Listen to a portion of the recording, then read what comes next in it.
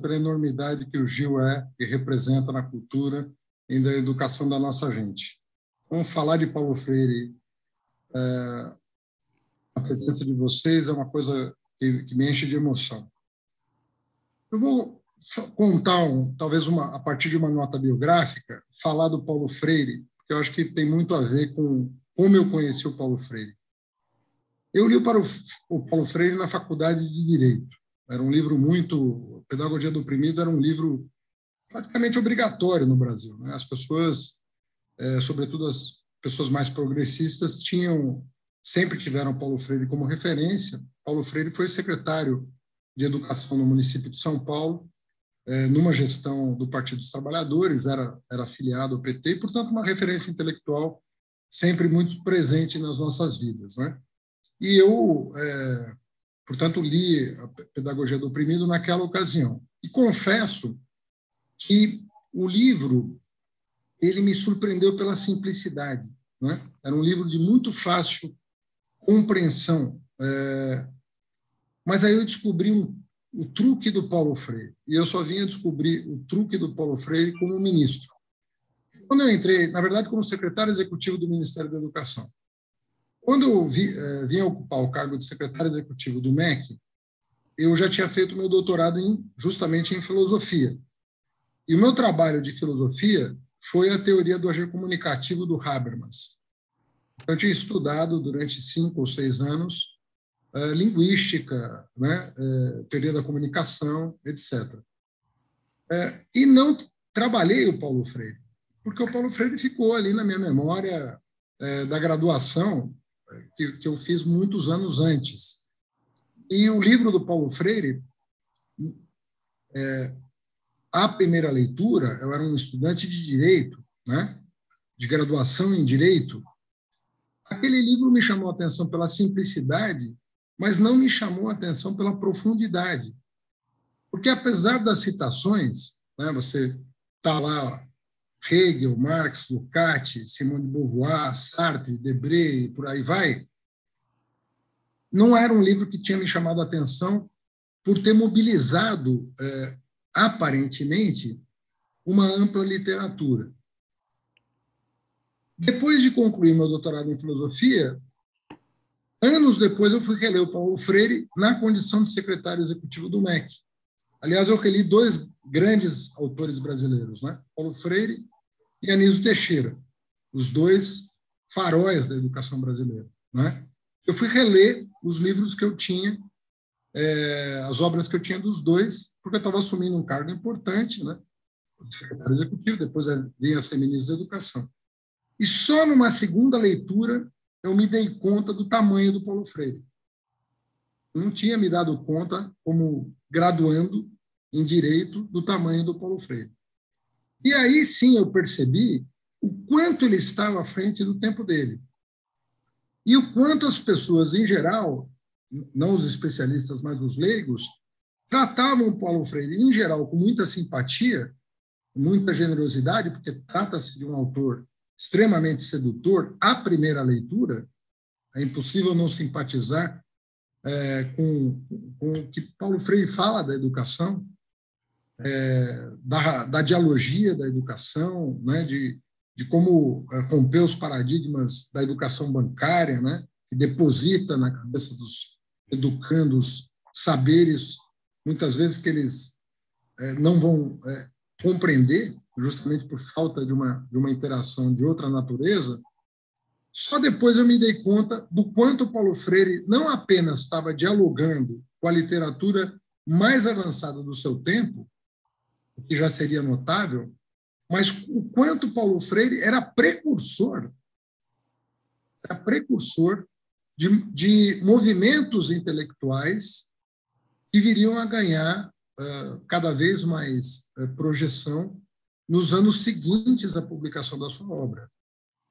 Eu diria que o, Paulo Freire não apenas faz parte, pode ser uh, considerado um autor que faz parte da, da, do chamado uh, linguistic turn, ele de, de, alguma maneira ele entrou no universo da linguagem pela educação, mas ele, de certa maneira, subverte a leitura de grandes autores da filosofia e das ciências humanas a partir de uma, de uma lógica de comunicação que é própria dele e eu diria quase que exclusiva dele. Porque o Paulo Freire é, passa a considerar a razão dialógica, era algo que estava, de certa maneira, ganhando cada vez mais peso na literatura da época, mas a partir é, de uma dimensão que os autores, em geral, não reconhecem, que é a ideia de assimetria da comunicação. E ao perceber essa questão da assimetria da, da comunicação, as comunicações não são simétricas, elas envolvem relação de poder, relação, relação de opressão, de oprimido. O Paulo Freire desloca o, o tema sobre a, a liberdade, a, o tema sobre a projeção humana, é, para uma órbita que não é exclusiva da produção. Então, não está mais falando da, da opressão como classicamente, né, a, a, perspectiva de esquerda colocava. Né? A gente via, se falava muito de exploração e opressão no, no mundo do trabalho. E o Paulo Freire passa a explorar os pressupostos dessa, dessa opressão. E quando ele parte para a análise dos pressupostos da, da, da opressão, ele, de certa maneira, ele dá um passo atrás.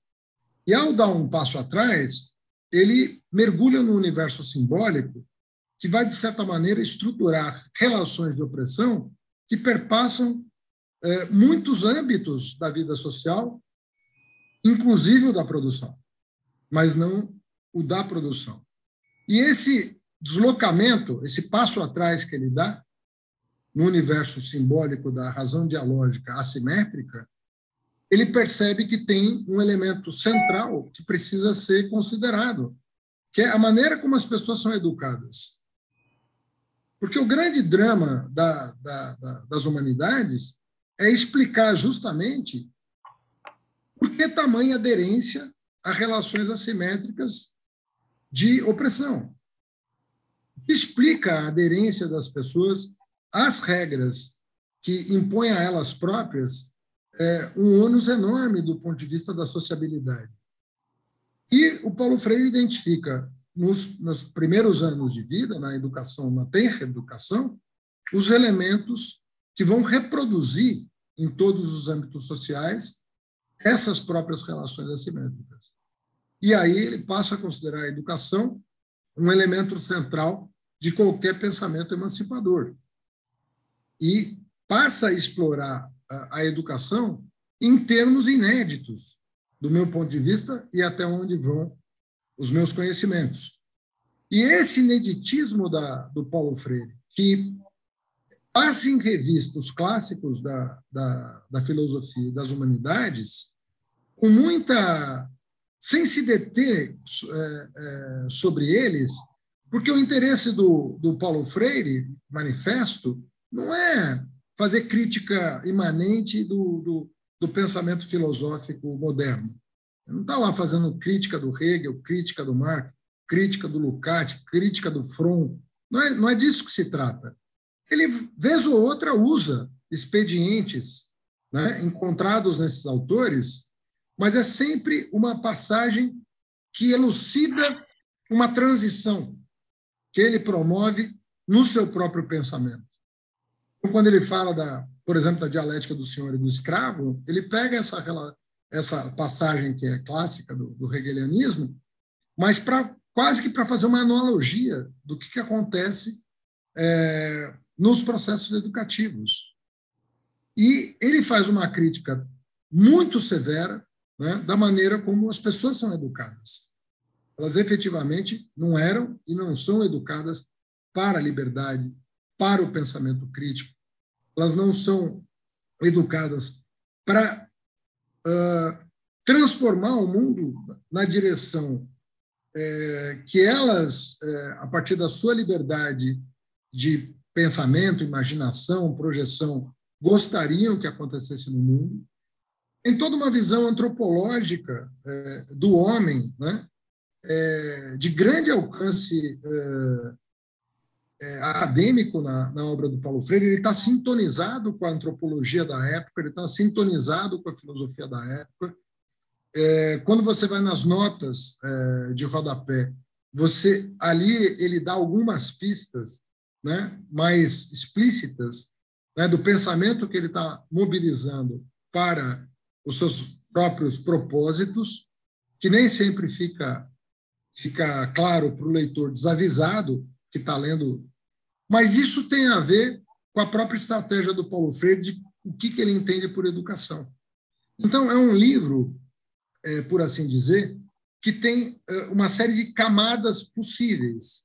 É um livro que pode ser lido por um estudante de graduação desavisado, que vai se deixar seduzir por uma narrativa, uma retórica, uma abordagem extremamente envolvente e muito libertária, e ela, ele pode ser objeto de um de um doutorado que vai se aprofundar sobre as referências intelectuais do Paulo Freire para trás e quais os intelectuais que ele influenciou para frente. Eu confesso que eu fiquei muito é, perplexo quando reli as, minha, as, minhas notas sobre pedagogia do, do, oprimido, com o fato de que o próprio Habermas é, não trabalha o Paulo Freire. Né? E, e a teoria do agir comunicativo teria ganho muito, ou teria perdido pouco em potencial crítico se tivesse considerado a abordagem freiriana, que é, como eu digo, um texto enganador nesse sentido, de você conseguir entrar nele com muita facilidade. Isso tem a ver com a própria postura do Paulo Freire sobre o mundo. Ele convida você a ler, quase que independentemente do seu grau de instrução, obviamente, você tem que estar alfabetizado, você tem que ter algum algum traquejo com vernáculo, mas assim, ele é um livro acessível. Ele foi feito para ser um livro acessível. Porque o próprio livro, na forma, já está aderido à, à teoria que ele esposa. Então, ele necessariamente tinha que ser um livro acessível. Mas essa acessibilidade, às vezes, é enganosa. É uma acessibilidade que muitas vezes esconde do especialista o grande intelectual que está por trás daquela, daquelas linhas. A mobilização é, é, intelectual que ele faz e que é absolutamente perceptível é, a, a, partir do momento que você caminha é, na, na, filosofia e nas humanidades com um pouco mais de né, determinação. Então, é um livro que atende ao interesse né, de uma pessoa que quer pensar criticamente o mundo, mas também responde a todos os cânones, cânones acadêmicos que se possa imaginar. Isso dá a ele uma condição quase única. Né? Paulo Freire é uma pessoa que dialoga com o mundo de uma maneira quase única. É um intelectual que, é, sem, sem rebaixar o nível da discussão, conseguiu produzir uma, uma obra que, na forma, é, consegue atingir milhares de pessoas, milhões de pessoas. E no conteúdo não perde absolutamente em nada aos clássicos da pedagogia e eu diria da filosofia. Paulo Freire é um filósofo. Paulo Freire não é apenas um pedagogo. É apenas é, é, é, não querendo dizer que pedagogo é menos que filósofo, querendo dizer que ele é pedagogo e filósofo. Ele poderia ser um pedagogo é, do tamanho que ele é, mas ele invade é, áreas do conhecimento que é, exigem um, um, um, tipo de saber especializado com o qual ele está absolutamente sintonizado é, desde a primeira é, desde o primeiro momento em que, em que começa a escrever. Então você vai, você tem um diálogo com a hermenêutica, você tem um diálogo com a fenomenologia, você tem um diálogo com o marxismo, você tem um, um diálogo com o estruturalismo e pós-estruturalismo, você tem um diálogo com a, com a virada, virada linguística, ou seja, você acha ali referências para todo gosto, para desenvolver. Então, ele é um pedagogo de, de, de uma cepa é, extraordinária. Ele se coloca efetivamente é, dentre os maiores educadores do, do, do mundo, é, por boas razões. Porque ali é, tem uma, uma mobilização é, de conhecimento que é, muitas vezes passa despercebida é, para alguém que não está suficientemente versado na filosofia e nas humanidades. Ele tem um diálogo com, com uma visão de homem ali que é extremamente sofisticada. Ele tem uma maneira de encarar a natureza humana, se é que é possível usar esse termo, uma maneira absolutamente é, apaixonante, né? É, a partir do momento que é, ele, ele pensa o homem como um ser projetivo, né? como um ser que se projeta. E isso tem muito a ver com, com temas caros a, a, até hoje à política, como o conceito de liberdade, o conceito de direitos humanos, o conceito de autonomia.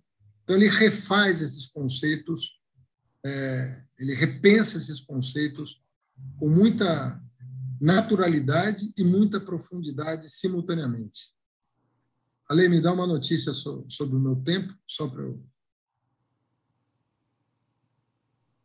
Tem mais cinco minutos, tudo bem? Ok, tudo ótimo.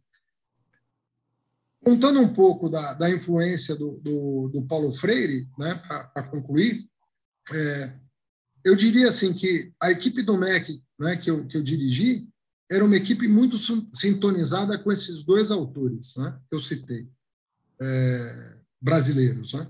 O Anísio e o, e o, Paulo Freire, o Anísio Teixeira e o Paulo Freire, eram as grandes referências da no, intelectuais do nosso trabalho nos oito anos que eu permaneci no Ministério da Educação. Um ano e meio como secretário executivo e seis anos e meio como ministro. E alguns é, continuaram depois da minha saída. Então, teve gente que ficou lá, é, continuou o trabalho em equipe, mas sempre com essas duas grandes referências que, na minha opinião, dão um tom, é, deveriam dar o tom para a educação brasileira sempre. E, portanto, é um pouco cômico é, é, quando um governo totalmente desqualificado resolve atribuir ao Paulo Freire, que nunca foi levado a sério no Brasil pelos governos, né, atribuir qualquer mazela da educação brasileira. É, é trágico, né? porque trata-se de uma pessoa que foi perseguida pela ditadura, uma pessoa que foi para o exílio em função da ditadura, uma pessoa que foi calada pela ditadura, né? produziu seu, sua, sua obra maior fora do Brasil em função disso, chegou ao nosso conhecimento tardiamente, né? não era uma pessoa que foi na volta do, do exílio, nas atividades políticas, muito recentemente, e só foi considerado é, para fins de organização da educação e das políticas públicas muito recentemente. Aliás, ele e Anísio Teixeira, que é outro perseguido.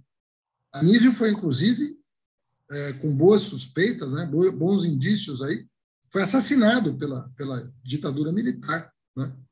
é, depois de, provavelmente pela aeronáutica, depois de ter sido abordado e torturado, foi jogado no posto de elevador do prédio de um amigo, Aurélio Buarque de Holanda. Mas os dois maiores educadores brasileiros foram vítimas da ditadura militar. Um perdeu a vida e outro teve que deixar sua própria terra e produzir ah, o seu pensamento mais sublime fora do Brasil, porque não havia ambiente no Brasil. Eu diria assim, se eu pudesse apontar uma causa dos problemas que a educação brasileira enfrenta até hoje, né, apesar dos avanços que, que houve, eu diria, sem sombra de dúvida, não ter ouvido seus dois principais educadores. Se nós tivéssemos levado a sério a obra de Anísio Teixeira, que é espetacular, né? é, e a obra de Paulo Freire, sem, sem sombra de dúvida, em ambiente democrático, nós teríamos avançado muitíssimo no Brasil. É por ter calado os nossos educadores, que até hoje nós temos desafios na área da educação é, extraordinários, apesar de esforços de governos que levaram a sério a educação. Fico por aqui, Ale. Obrigado. Chamo de Ale porque é amigo antigo, viu, gente? Não é nenhum desrespeito aqui, não. Tá tranquilo.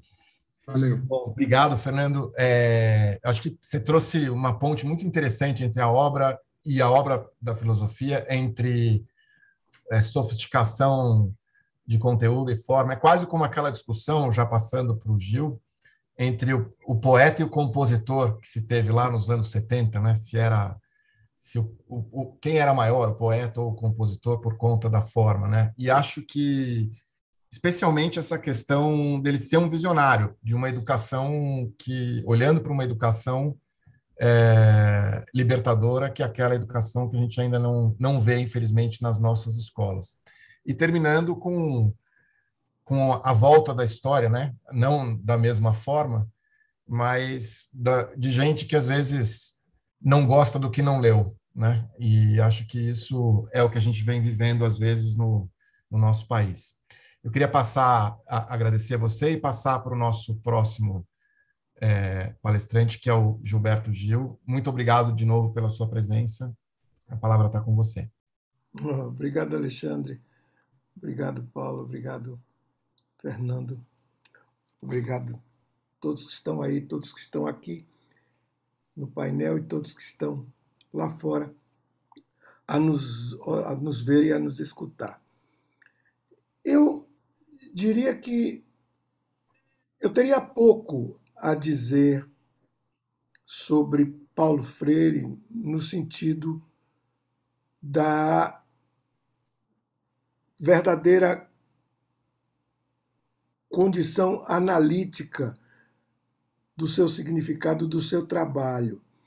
Enfim, pedagogo que foi, educador que foi, mas também, como Haddad ressaltou muito bem, dimensionado no, no campo da, enfim, da filosofia, da antropologia, da sociologia, de todas as, as ciências humanas, enfim, ele teve sobre mim um, um papel de, digamos assim, de oceano que bate na praia, essa praia sendo eu, sendo ele o oceano. As águas profundas, enfim, as águas imensas dos seus vastos significados, enfim, desde o significado humano, o homem, simples, nascido ali no Nordeste brasileiro, no semiárido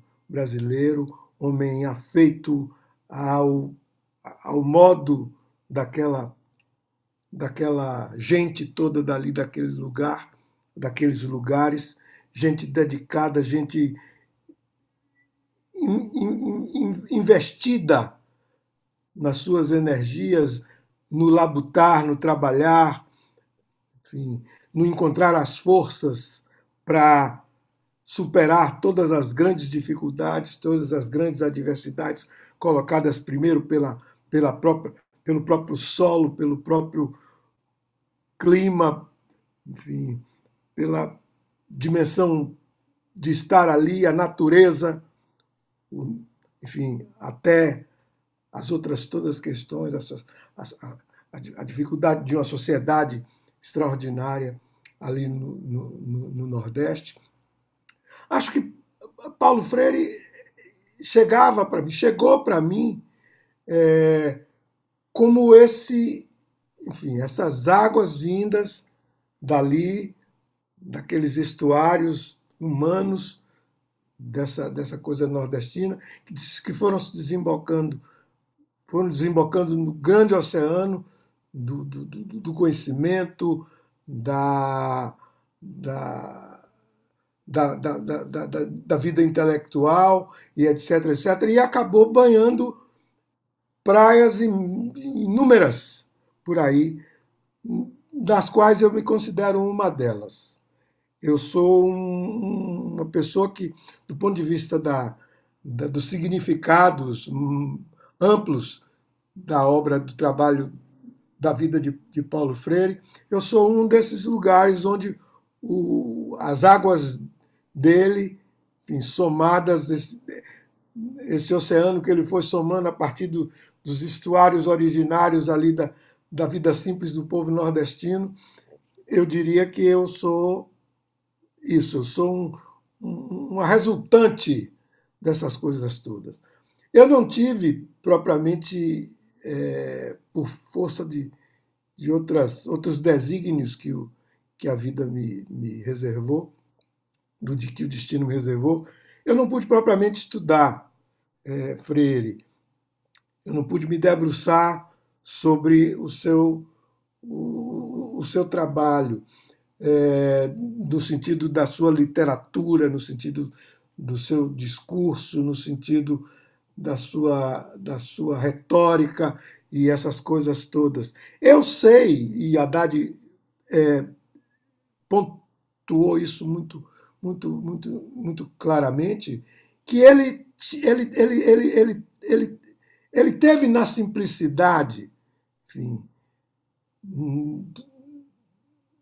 do, do léxico, das formas de reunir palavras, das formas de reunir, condensar pensamentos em, em, em, em textos, em frases, em, parágrafos, em páginas, enfim. Ele, ele, ele, ele, teve, ele representava essa, essa simplicidade, esse, esse, esse, esse, homem natural da, daquela região.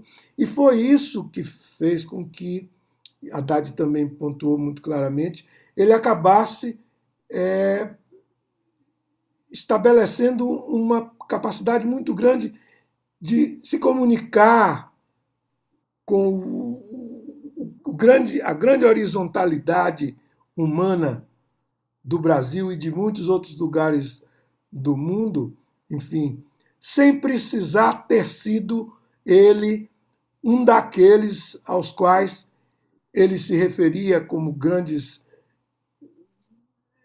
enfim, referências para ele, os homens do, do conhecimento, os filósofos, os homens da, enfim, da, da, da, das grandes disciplinas é, humanas.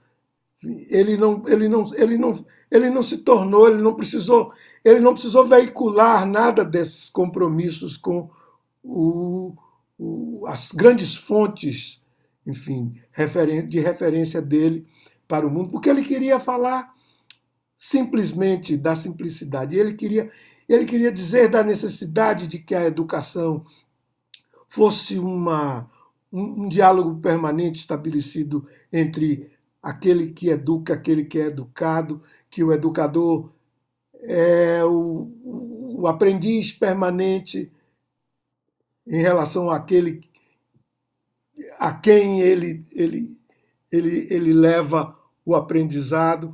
Enfim, todas essas coisas. O, o, o Freire é, ele não precisou, enfim, se associar, digamos assim, a elencos de intelectuais e coisas desse tipo. Ele ficou sempre ali. Eu vou pegar os meninos, eu vou para para os lugares onde possa ter. Isso aqui pode ser uma escola, isso aqui pode ser um lugar onde reúnem-se pessoas, jovens, crianças e etc. São pessoas que precisam, precisam acessar o, o mundo da palavra, precisam ser, ser educadas, precisam ser alfabetizadas, enfim. Evidentemente, são, ele, ele alcançava esses, esses elencos todos. Ele era contigo, ele, aos grandes filósofos a, a que Haddad se referiu. Ele tinha, eh, enfim, ali ao seu lado, gente como Anísio Teixeira, ao qual é, Haddad também se referiu. Ele tinha, evidentemente, ali o, o, o conhecimento de gente mais letrada, mais como, como Gilberto Freire, por exemplo, os, os freirianos, enfim, têm razões naturais para encontrar enfim, contiguidades ali entre, entre, entre eles. É, você pode. Ele, ele, ele, sabe da, ele sabia da importância de um Euclides da Cunha, enfim, no sentido dessa busca da narrativa simples, da, da, da, da, da grande, da grande profundidade existente ali naqueles, naqueles, naqueles mundos. Ele tinha contiguidade natural com gente como, como, como Darcy Ribeiro, enfim, que é, que é seu contemporâneo, que é da, é da mesma época, que também se dedicou a, a, a, a, a percepção desse, dessa, dessa complexidade da formação brasileira e a necessidade de que essa complexidade provocasse uma outra forma, uma forma nova, inaugural, distinta de considerar o Brasil. Enfim, a, a, os problemas da grande formação é, com o, o colonizador, com aqueles que o colonizador trouxe para a formação da, da, da, da, da força produtora, criadora brasileira, o negro, o africano, o índio, enfim, é, essas coisas todas, o caboclo, ele próprio, o, o, o, Paulo Freire, um, um caboclo, um, um, mestiço dessas, dessas grandes misturas aqui, aqui é, o Brasil teve que acolher, tem que acolher, precisa ainda continuar a acolher essa questão da integração contínua que deve ter, que precisa ser feita, que vem sendo feita, que precisa continuar a ser feita no Brasil. Então, para mim, é, Paulo é, é isso.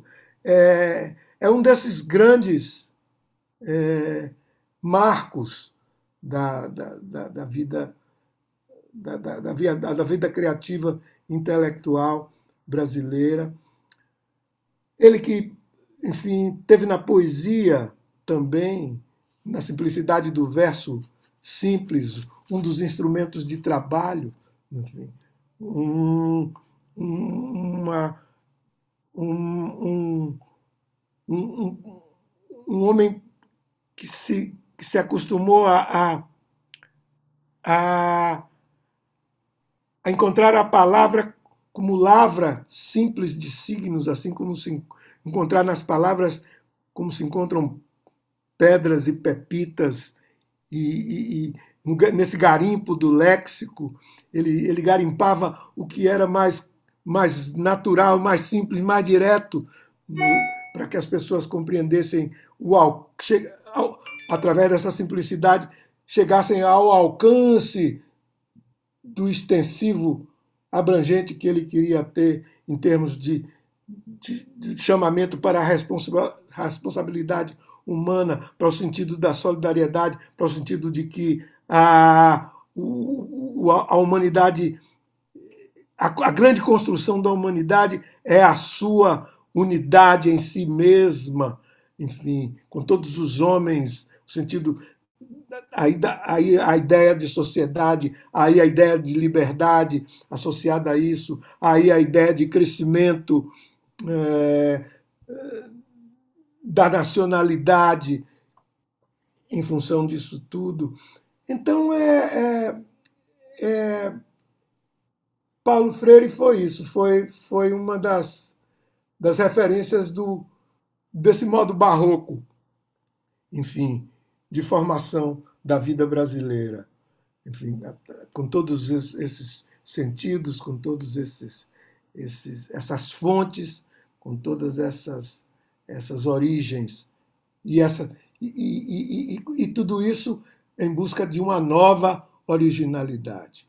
Quer dizer, ele acreditava na originalidade é, do Brasil por causa dessa formação complexa, enfim, investiu nisso, entendia que qualquer, qualquer método, qualquer modo de, de, de, de fazer educação, de fazer pedagogia é, no Brasil, teria que considerar essa busca de uma nova originalidade, porque, de uma certa forma, já estávamos instalados nela. Éramos um povo original na construção do mundo.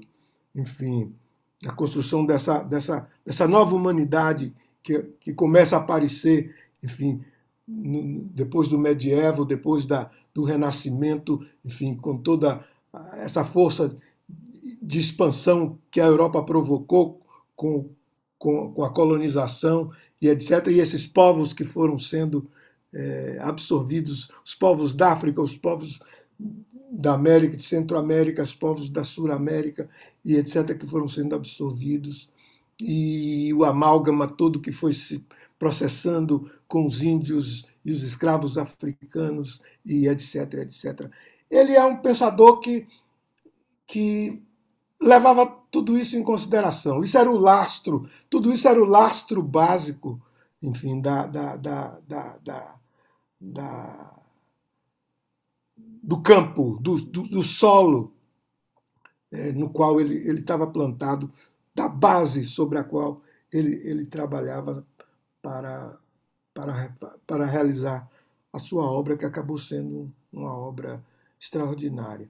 Eu não, não só posso sobre ele exatamente fazer isso, esse, esse discurso do eco, esse discurso da onda, esse discurso do reflexo que uma personalidade como a dele tem, teve na minha formação, na formação da minha geração e de todos os outros que vieram vindo aí através ali alguns já juntos contemporâneos dele, outros já um, um pouco posteriores. Eu sou um pouquinho posterior a ele.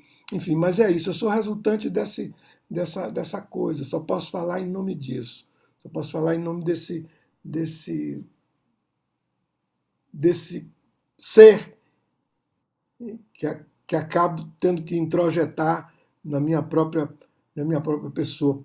Nesse sentido, Paulo Freire é uma continuidade. Eu sou uma continuidade do, do, do, do Paulo Freire, como todos nós aqui, de uma certa forma, somos.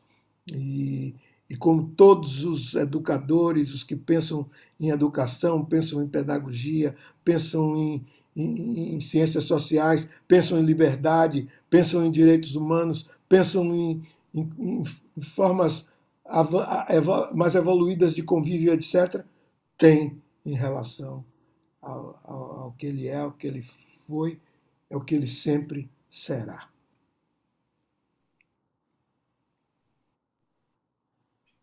Muito obrigado, muito obrigado, Gil. Obrigado, e acho que você trouxe num paralelo com, com o que o Fernando colocou, é, essa importância do, do, Paulo Freire e da educação freiriana no, nesse processo dialógico, né? E no respeito com os saberes do povo. E aqui tem uma primeira pergunta que foi endereçada a você, é, além, né? Aqui a gente está com mais de uma centena de, de comentários e questões aqui nas duas plataformas em que nós estamos. Mas, além dos elogios e do desejo do retorno de vocês à vida pública o mais rápido possível, tem aqui uma questão para você que é simples. Se Paulo Freire poderia ter nascido em outro lugar que não o Nordeste, na sua opinião? Poder poderia. Não teria sido quem foi e não teríamos as resultantes do modo de operar daquilo que estava nele, daquilo que ele foi, se não tivesse sido nordestino se não tivesse sido, se não tivesse ali da Bahia para cima, digamos assim, o seu, o seu, como não tivesse aquele como seu território. E, e, e, nesse território, aquela gente, aquele tipo de homem, aquele tipo de, de, de, de gente, aquela dimensão, aquele, aquele modo de ser é, de humanidade ele não, não poderia. Se ele tivesse nascido no sul do Brasil ou em São Paulo, até Minas ele, ele poderia. poderia se, tivesse nascido em Minas, ainda poderia ter sido mais ou menos semelhante ao que ele foi. Montes Claros, assim, né, Júlio? É? Montes Minas Claros, pra, né? É, de Minas para baixo já ter, ele já teria, sem dúvida alguma, se tivesse nascido de Minas para baixo, já teria sido uma outra coisa. Boa. E para o Fernando Haddad, é, tem três questões, vou tentar sintetizar numa só, que é mais direta. Nas suas gestões no MEC, o Manifesto dos Pioneiros na Educação Nova foi uma inspiração. Você viu alguma conexão entre aquele movimento, estou entendendo aqui o, o, o Manifesto dos Pioneiros, e os escritos de Freire?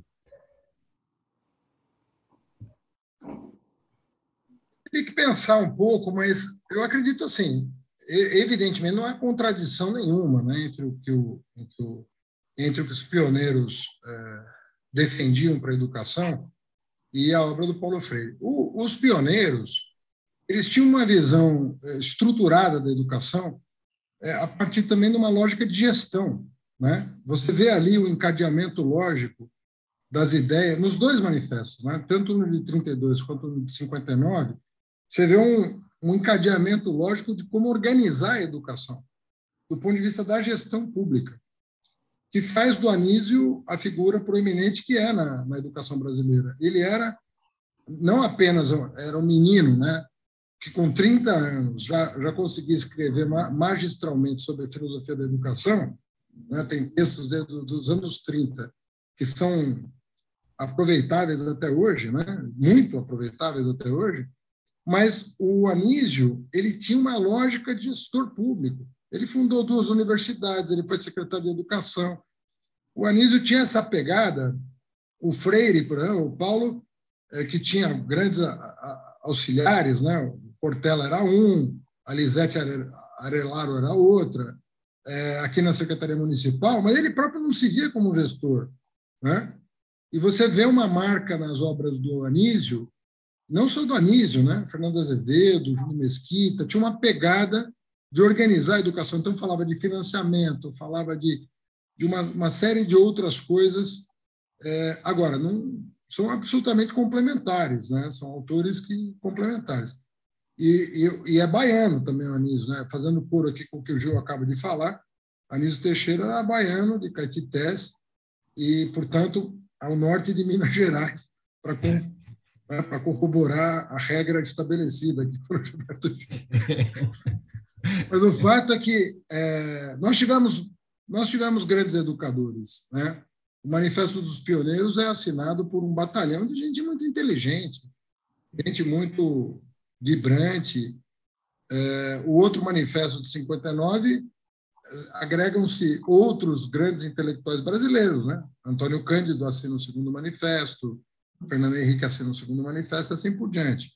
Então, não faltou, é, não faltou gente boa para querer resolver os problemas da educação brasileira. Faltou Estado, né?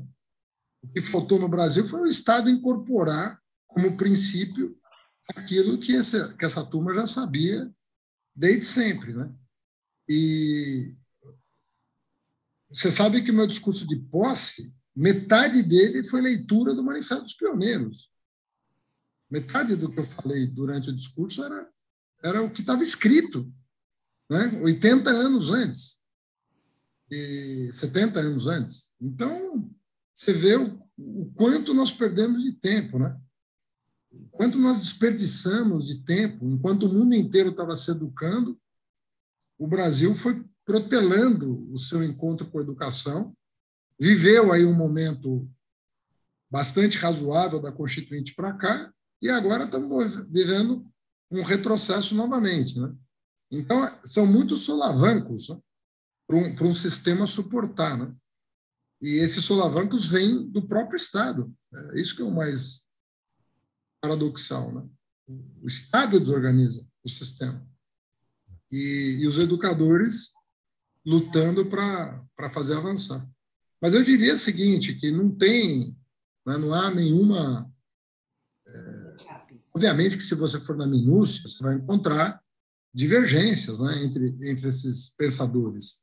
Tinha gente que era a favor de avaliação, tinha gente que não era a favor, tinha gente que era a favor de teste padronizado, tinha gente que era contra o teste padronizado, e por aí vai.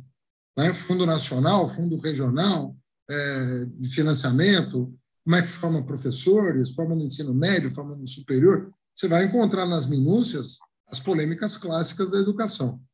Mas filosoficamente falando, aí não. Aí você não vai, não vai achar grandes é, diferenças.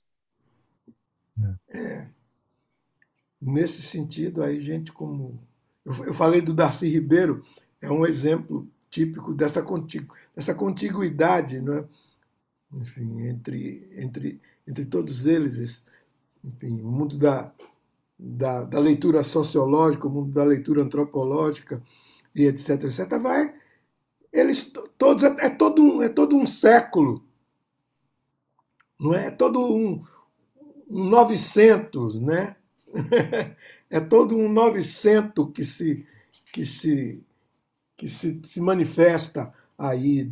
Eles, muitos deles nascidos, quase todos eles nascidos ali no início do, do século XX, não é? Exatamente correspondendo ao momento em que, em que essa dificuldade de formação do Estado brasileiro se dá, dizer, onde, onde a, a,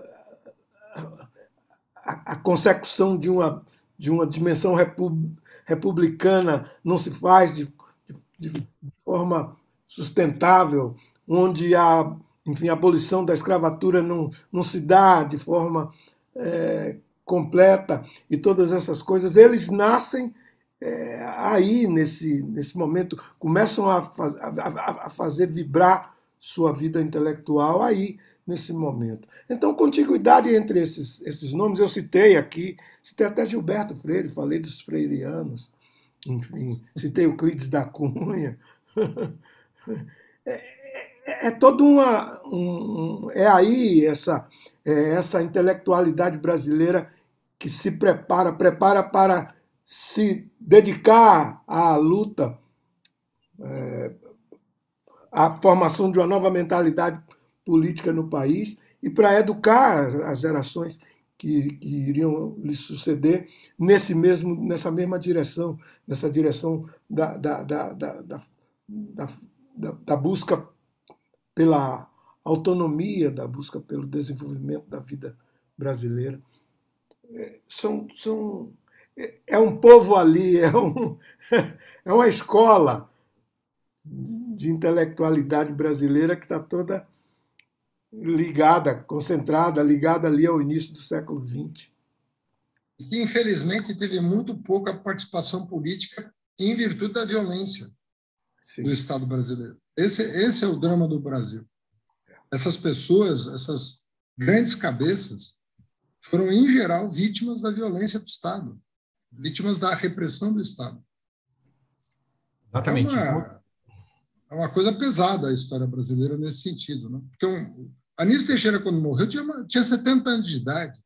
Você já imaginou o que é torturar e matar uma pessoa de 70 anos de idade que tinha inaugurado universidades, aberto escolas, é, escrito livros de filosofias. É, é esse sujeito que mataram.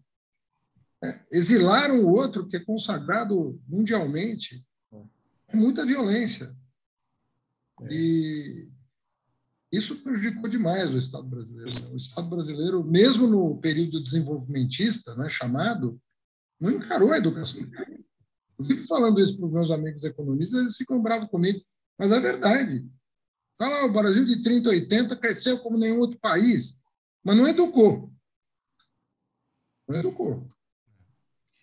E, isso faz uma grande diferença. Uma grande Sim. diferença. E as duas, tanto Freire quanto é, Anísio, foram, foram visionários também. Né? Um com a questão da educação integral e o outro com a autonomia e, e com o aprendizado do aluno a partir do seu próprio processo é, dialógico com o professor, né? coisas que a gente ainda está perseguindo hoje, né? muitos anos depois do, do, tempo que eles escreveram. A gente tem uma, uma pergunta aqui para cada um, viu?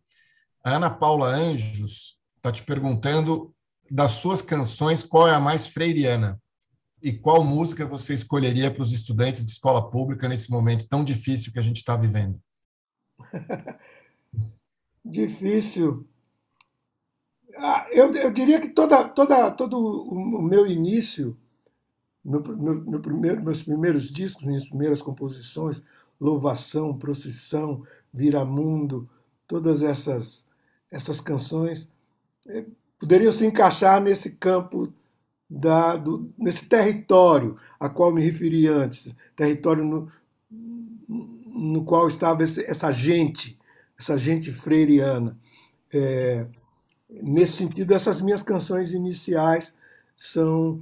É, porque, porque são exatamente as canções onde, onde eu recorria ao, ao, ao à dimensão telúrica, à, à condição de pertencimento a, a, um, a, um, a, um, a, uma, a, a uma parte do mundo, a um lugar do mundo, enfim, e agente desse lugar, enfim, da qual eu era um, um, um deles.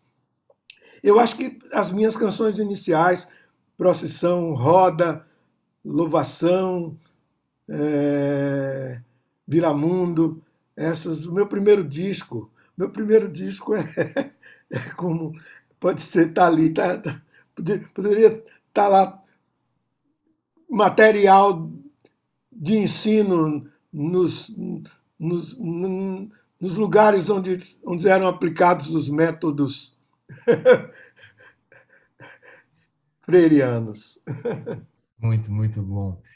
E, Fernando, é, o Léo Mendes, filho, está perguntando para você, na sua opinião, como a pedagogia da esperança pode enfrentar a pedagogia da prosperidade que estão nos impondo nos dias de hoje? Bom, só fazendo uma referência ao trabalho do Gil, acho que o Gil é o compositor brasileiro mais dialógico de todos, na minha opinião. O Gil é dialogia pura, está o tempo inteiro relendo a própria cultura brasileira, processando. É um, é um trabalho, eu acho essa dimensão do trabalho do Gil extraordinária. Mas é, eu, eu, acho que nós estamos é, bom, o Freire fala, né? A, a, lógica do ter e a lógica do ser. Né? Eu não lembro o termo agora que ele usa na pedagogia do oprimido, mas acho que é não é a lógica que ele usa, a filosofia do ter e a filosofia do ser. É basicamente isso, né? Se você for pensar, é, prosperidade é ter, né? Como a leitura é, corriqueira da palavra é, é aquisitiva, né? É ter, né? E esperança é ser, pô, porque é, esper, esperançar é você se projetar, né? é você sonhar, é você se projetar. Essa dimensão do, do, da, do, da obra do Freire é muito legal. A ideia, a, a leitura dos, de como é o ser humano, porque o ser humano é um ser que se projeta no tempo. Ele não está, ele, como ele diz, né? ele fala, o animal é incompleto, mas o homem é incompleto num sentido diferente, né? ele fala. O homem não é um incompleto como um animal é, porque ele, ele se projeta, né? ele, é, é, justamente essa coisa do esperançar, né? essa coisa do, do, do como você se tivesse perpetua, é, de forma perpétua, né? transformando o mundo e tentando criar o mundo a partir da, da, da intersubjetividade, da troca. Né? Transformando-se né? a ele próprio. É, exa ele. exatamente. É é o único, pelo menos, que a gente conhece entre os animais que tem esse, esse poder, essa capacidade, esse desígnio não é? da autotransformação. É? Exato. Então, é, essa caracterização do ser humano que ele faz é coetânea com o que tem de mais moderno até hoje. Né? Assim, o que ficou da, da, da filosofia, né? É muita coisa da filosofia do, da, da época, né? Teologia fundamental, essas coisas todas, o, o, Freire, de alguma maneira, sabia essas coisas, entendeu? Ele, ele teve contato com, é, com todas essas coisas e, e você nota que ele está. É, essa questão do, do projetar-se, né? Ele, ele é leitor do Sartre, portanto, deve ter conhecido por tabela. Eu não, eu não vou lembrar agora de todas as referências, das poucas até, né? referências bibliográficas dele, porque ele cita pouco. Mas, pelo Sartre, ele deve ter tido contato com, com, com Heidegger, com, porque ele tem uma, ele tem uma ideia de, de, de ser humano que se projeta. Né? O esperançar dele tem a ver com isso, com a realização de sonhos, com a projeção de sonhos, com a formulação intersubjetiva de sonhos, com a construção coletiva de mundos possíveis. Né? É, conceito de liberdade e direitos humanos absolutamente imbricados nesse sentido, né? É uma filosofia libertária mesmo, emancipatória. Né? É, a, a, ideia da despessoalização pela educação é uma coisa muito muito presente na, na ideia dele, né? Você vai quase que dessubjetivando a pessoa. A educação que ele critica, né, a bancária, é a despersonalização, a despessoalização a dessubjetivação você vai anulando a pessoa. Enquanto a, de, a que ele propõe é exatamente o contrário, né? você vai se elevando a partir da educação. Então, ele nota no educando, ele nota ali na, já na, no início do processo de socialização, você já vai incutindo aquela mentalidade que vai te amarrar o resto da vida. Né? É isso que ele mostra. Né? Você vai se enredando naquelas teias que vão te amarrando. E o bacana dele é que, pô, ele está escrevendo praticamente junto do, com Foucault, até antes do, né, do Foucault, e ele tem uma visão extremamente interessante de como essas coisas se dão, sabe? E como essas estruturas vão se fixando nas pessoas a ponto de você, que é o que ele fala explicitamente, incorporar os valores do dominador, do opressor. E aí você fala, eu quero estar no lugar do opressor. Então, essa, a prosperidade é exatamente a lógica de querer estar no lugar do opressor. Né? E, e, então, você rompe com a, com a dinâmica né? É, que, que, divide o mundo, né? uma minoria que dessubjetiva a maioria, né? que faz da maioria uma forma de, de quase mecânica né? de reprodução da sociedade. Uma marca de manobra. É. Então, ele tem. Ele, isso aí está no primeiro capítulo, se eu não me engano, do, do Pedagogia do Oprimido. Né? A diferença entre o, o ter e o ser, entre a, a como que chama? Pedagogia da prosperidade, que alguém citou, e a pedagogia da, da esperança. É exatamente isso. Bom, infelizmente a gente está chegando no fim. É, a gente vai tem um monte de pergunta aqui que a gente não conseguiu nem chegar perto, é, mas a gente tem esse tempo é, final. Eu queria agradecer muito vocês dois é, pelo, por esse momento tão incrível que a gente teve hoje. Acho que não, não, a gente não podia ter começado melhor, é, não só pelo que vocês representam, mas pelo que vocês trouxeram hoje para nós, esse seminário internacional é, liderado aí pelo time do Paulo Blickstein na Universidade de Colômbia. Né? Tá todo mundo aqui, muitos comentários sobre a situação que a gente está vivendo no Brasil, sobre o que a gente viveu no Brasil. E eu, pelo menos, eu queria ficar com uma música do Gil que chama Fim da História, em que ele diz que não crê que o tempo venha comprovar nem negar que a história possa se acabar. Basta ver que um povo derruba um czar, derruba de novo quem pôs no lugar. Então a história não acabou, e seguindo o Paulo Freire, a gente pode ter esperança em tempos melhores, especialmente convivendo com pessoas como vocês. Então, eu queria passar para vocês para o comentário final. E desculpa uma roubar a sua músicas, letra, Gil. Uma das minhas músicas preferidas do Haddad. Né? Ah, é? É verdade. Essa que Opa. você citou. Mais uma coincidência, então. Pois é. é. Muito lindo. Tá no Parabólica Camará, né? Pois é, deixa eu também aproveitar para me despedir de vocês, enfim, todos que nos assistiram, enfim. Me desculpe por esse, esse, esse espraiamento todo, esse banho de águas barrocas, que é o, que é o meu falar, que é o meu, o meu, o meu discurso. Obrigado a vocês todos. Muito obrigado, muito obrigado mesmo. Fernando? Alexandre, muito obrigado. Paulo, muito obrigado. Meninas, Renata, Juliana, nossas estudantes, muito obrigado. E muito obrigado, Gil, por compartilhar essa mesa com você. É uma honra falar do Paulo Freire no seu centenário. A gente tem que valorizar muito aqueles que lutaram por dias melhores, até porque eles vão servir de inspiração para os dias que virão. Uma honra estar aqui nessa, na presença de vocês. Obrigado. Muito obrigado. Eu passo para o Paulo agora, para ele encerrar.